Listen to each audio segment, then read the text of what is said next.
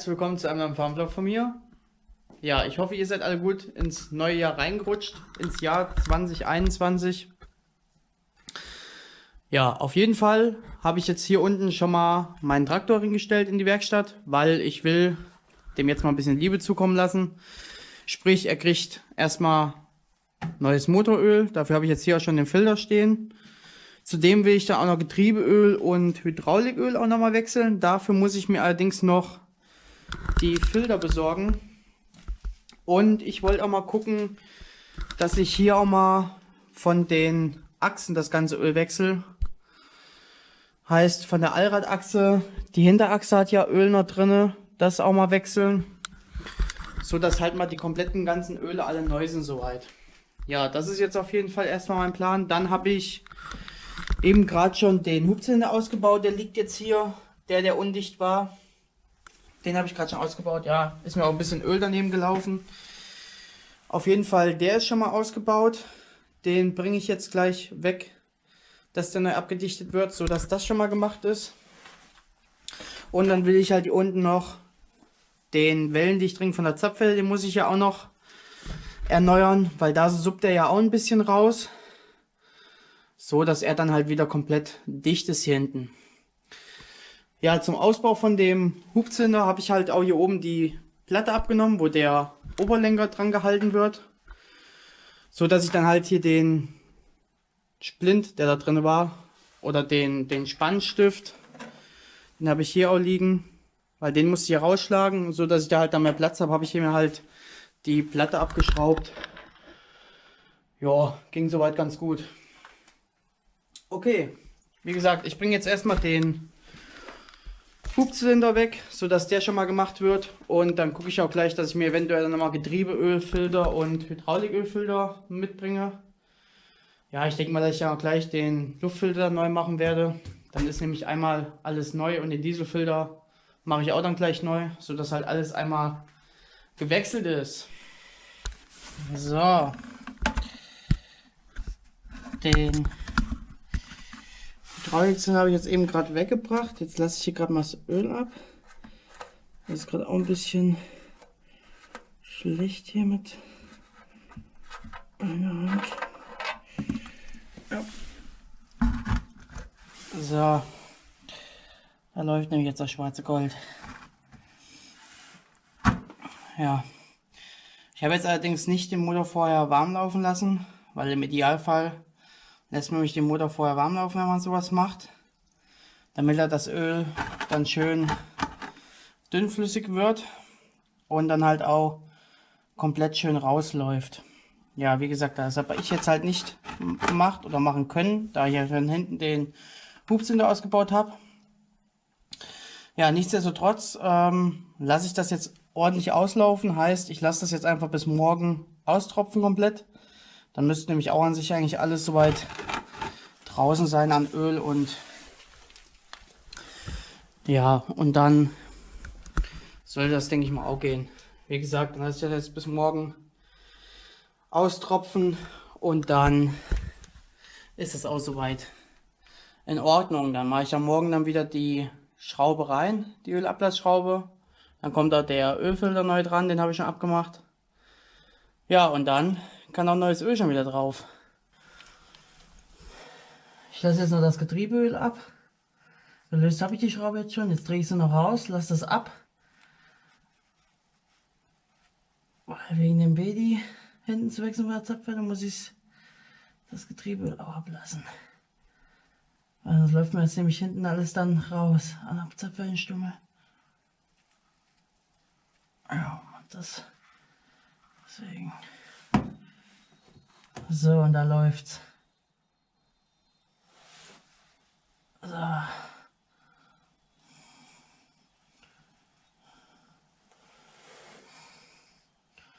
Ist auch noch richtig schwach, ey.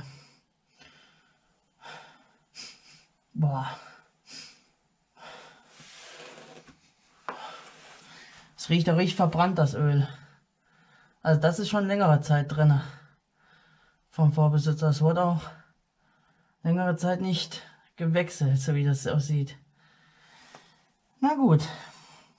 Dann wird es halt jetzt mal gewechselt. Okay. So, ich mache jetzt noch den Magnet hier sauber, der hier an der Atlasschraube dran ist. Hängen immer so ganz leichte kleine Spänchen dran. Zeige ich euch jetzt mal. Ah, sieht man jetzt gar nicht bei dem Licht. Ah, doch, da sieht man es. Da so ganz ein paar Spänchen hängen da dran. Okay, mache ich jetzt mal sauber und dann mal schauen. So, ich habe jetzt hier den Magnet mal sauber gemacht, hier unten an der Ölablassschraube. Soweit, also da hängt richtig dicker Knuss dran. Also wenn man das hier mal sieht, das ist schon, das ist schon so hart wie, das fühlt sich an wie Fett. Also das wurde echt schon längere Zeit nicht mehr gewechselt. Boah, ey, sowas habe ich auch nicht gesehen. Alter Schwede, ey. Ja, hier sieht man jetzt auch mal den Magnet. Wie gesagt, da hängt dann noch so eine richtig dicke, schmierige Schicht drauf und ich kriege die einfach jetzt nicht ab. Ja, ich werde jetzt gleich nochmal mit Bremsenreiniger richtig schön reinigen. Und dann soll, denke ich mal, die Fettschicht hier auch abgehen von dem Magneten. Ja. Okay. Wie gesagt, hier steht noch das Motoröl, das läuft noch. Das lasse ich jetzt auch laufen bis morgen früh. Dann hier unten drunter ist ja noch das Getriebeöl. Wie gesagt, ich habe jetzt hier in die Wanne reingemacht, in die große. Ich habe mir neben auch nochmal einen Eimer zusätzlich hingestellt, dass falls die Wanne nicht reicht, weil ich nicht weiß oder wusste, wie viel da drin ist. Aber die Wanne wird definitiv reichen, weil da kommt jetzt nicht mehr so viel. Ja, das lasse ich jetzt auch noch austropfen bis morgen früh. Ich habe auch hier oben den Einfüllstutzen aufgedreht, damit er Luft zieht, damit das einfach besser rausläuft. Ja, wie gesagt, ich lasse das jetzt bis morgen früh rauslaufen und dann werde ich dann morgen die zwei Schrauben wieder reindrehen, hinten dann den Wellendichtring ausbauen und ja, Motoröl kann ich wieder auffüllen, den Ölfilter wieder reinschrauben und dann gucke ich mir hinten mal den Wellendichtring an. So, ich löse jetzt hier schon mal die Schrauben hinten von der Zapfwelle.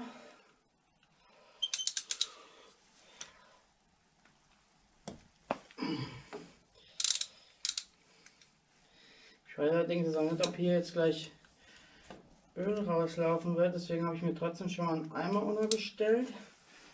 Sicher ist sicher. Es kann sein, dass da gleich Öl nämlich ausläuft, was ich nämlich auch befürchte, passieren wird.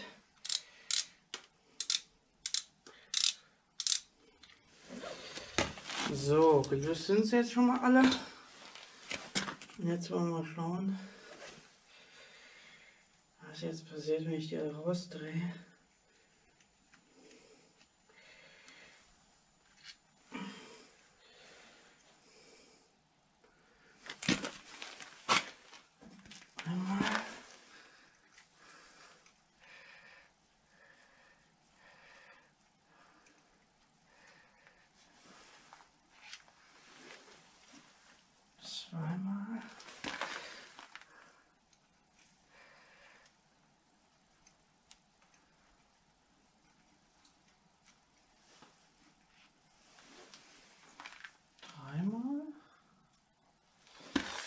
Und die letzte jetzt noch.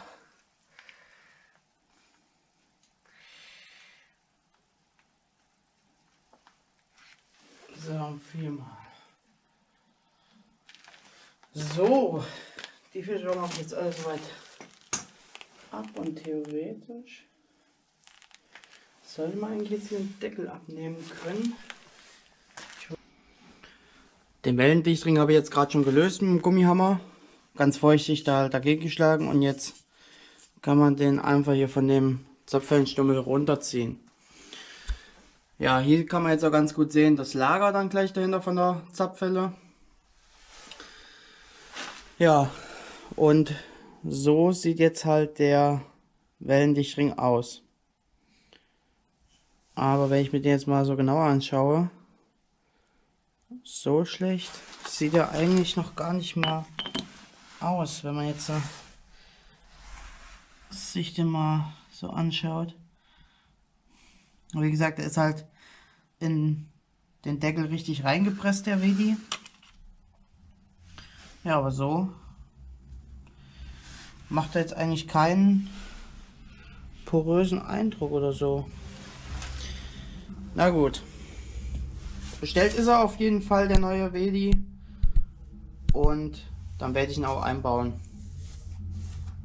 Und dann hoffentlich ist dann das Gesuppe, was man jetzt hier aussieht, da läuft ja das Öl runter. Hoffentlich ist das dann auf Vergangenheit. Eben ist jetzt auch mein Getriebeöl angekommen.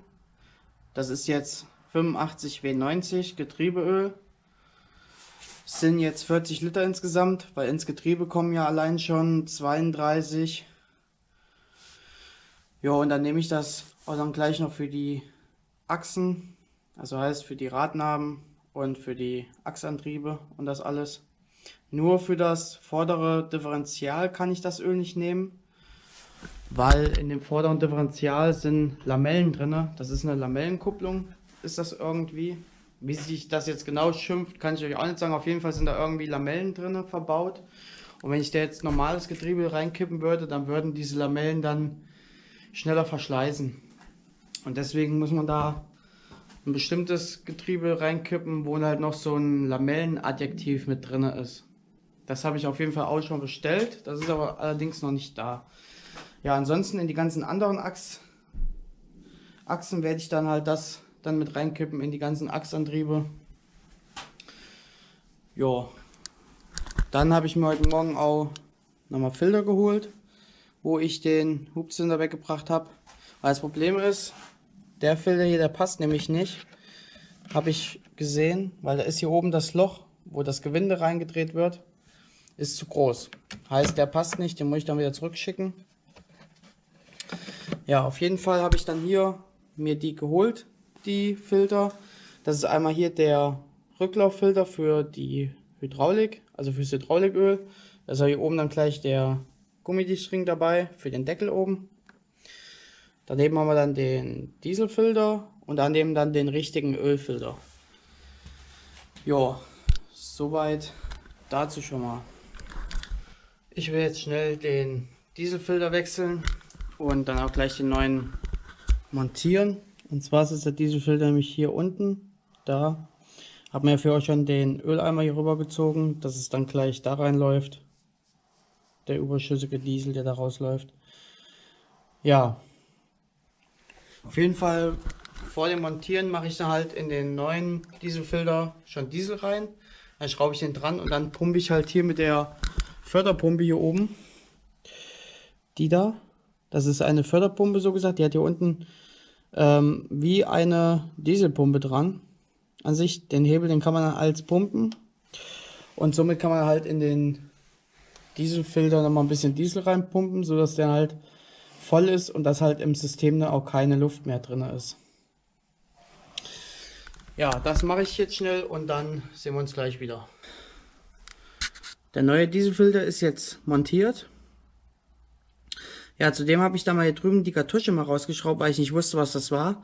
Ich habe dann gerade mal in der Bedienungsanleitung nachgeschaut und das ist auch noch ein Hydraulikfilter. Das ist so ein Filtereinsatz. Den zeige ich euch auch gleich mal.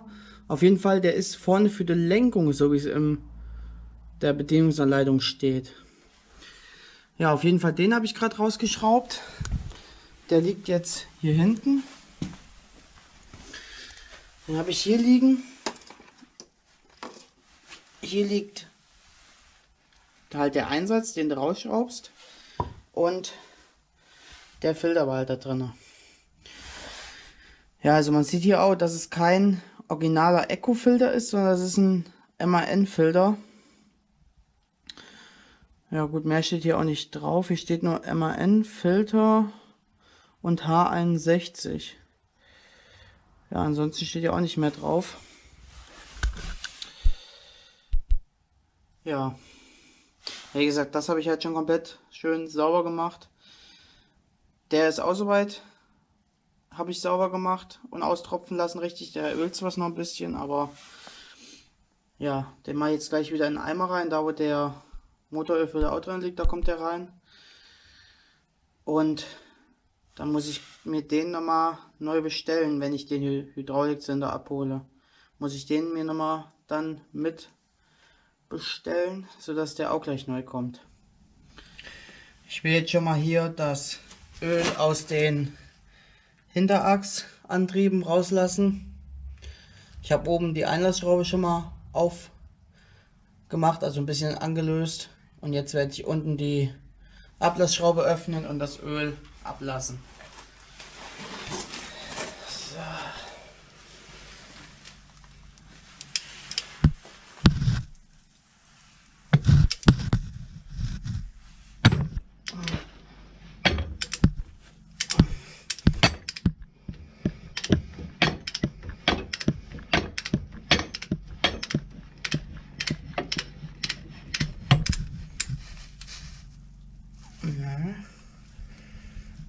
Hand drehen kann ich es noch nicht.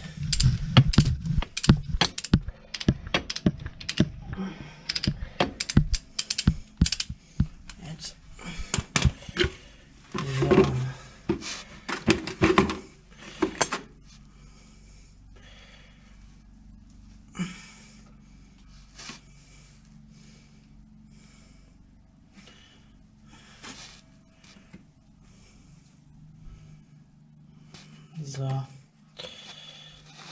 es jetzt.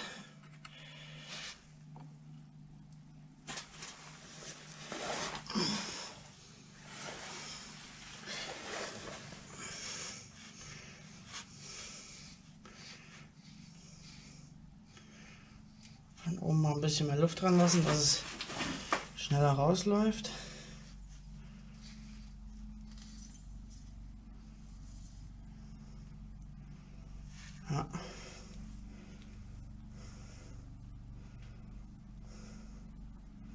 Das sieht auch rotzebraun aus schon. Also sieht auch wieder so aus, als wenn das echt lange wieder nicht gewechselt wurde.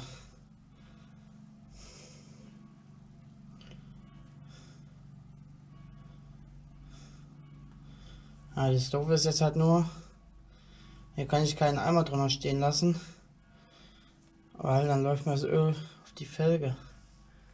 Also ich kann es jetzt auch nicht austropfen lassen. Aber ich lasse es jetzt erstmal so weit ab, bis es nur noch tropft.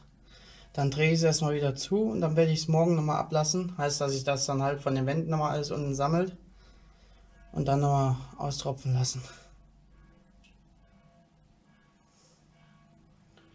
Das ist dann, denke ich mal, die sinnvollste Lösung.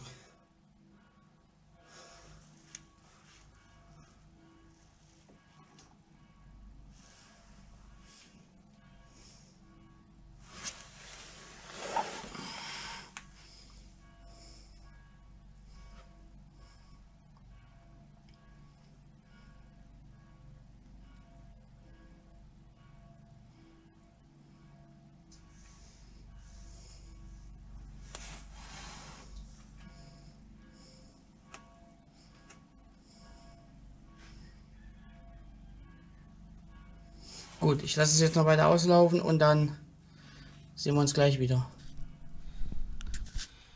So, das ist jetzt hier das Öl aus dem Hinterachsantrieb. Es hat auch so einen leichten Grünschimmer irgendwie. Aber wie gesagt, das sieht halt echt so aus, als wenn das schon lange nicht mehr gewechselt wurde. Okay, dann lasse ich das jetzt noch von dem anderen ab. Und dann werde ich morgen dann nochmal den Rest ablassen, wenn es jetzt nochmal alles gesetzt hat. Und dann fülle ich es morgen dann wieder auf gleich. Ich habe jetzt einen kleinen Eimer gefunden, den ich jetzt hier so hingeklemmt habe, so dass ich das auslaufen lassen kann aus dem Hinterachsantrieb. Ja, das tropft jetzt noch schön aus. Danach muss ich ja halt hier drüben noch die andere Seite dann noch austropfen lassen. Und dann werde ich, denke ich mal, nach morgen dann neues Öl schon draufkippen. Hier hinten. Ich will jetzt hier schon mal aus der Vorderachse das ganze Öl rauslassen, heißt aus den zwei Radnaben und aus dem Differential. Dafür habe ich jetzt hier schon mal einen 20 Tonnen Wagenheber unten drunter gestellt. Ich habe ihn allerdings noch nicht hochgepumpt. Allerdings muss ich ihn jetzt hochpumpen, weil ich hier die zwei Räder nochmal drehen muss. Weil hier unten die Ablassschraube, wo jetzt schon die 19 Nuss drauf ist, die muss nämlich ganz unten stehen. Und damit ich halt das ganze Öl dann ablassen kann aus der Radnabe. Und dann wird hier oben die Einfüllschraube, das ist eine Imbusschraube, die wird dann ungefähr so hier stehen. Und die muss ich dann halt äh, voll machen, bis es halt dann wieder aus der Schraube rausläuft. Ja. Deswegen, und das gleiche dann auch bei dem Differential, das zeige ich euch jetzt nochmal schnell. Dafür gehen wir gerade mal hier rum.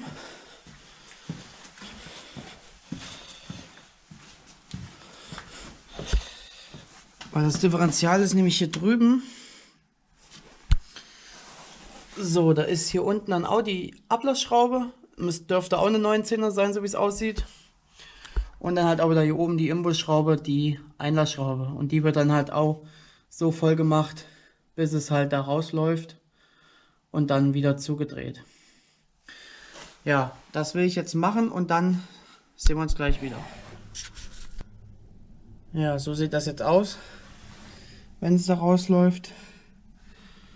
Hier kann man auch mal in den Eimer reingucken. Sieht auch schon wieder so richtig eklig aus, ey.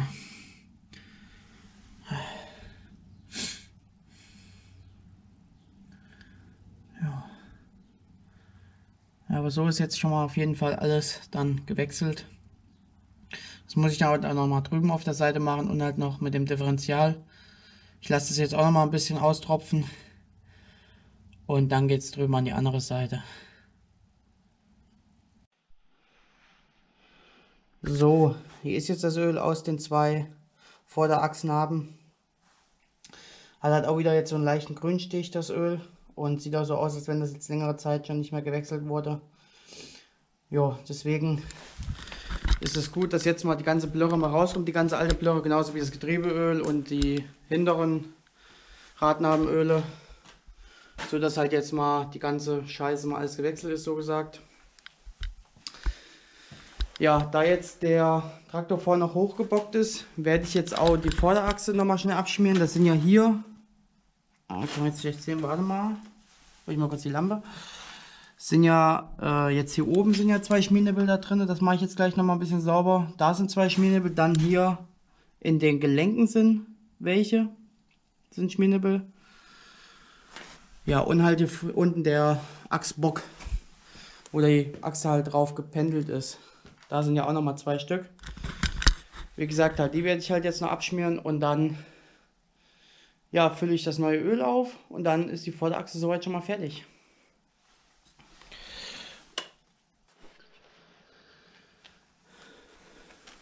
Hier habe ich mir jetzt auch schon mal zwei alte Ölkanister geholt, die ich jetzt noch hatte.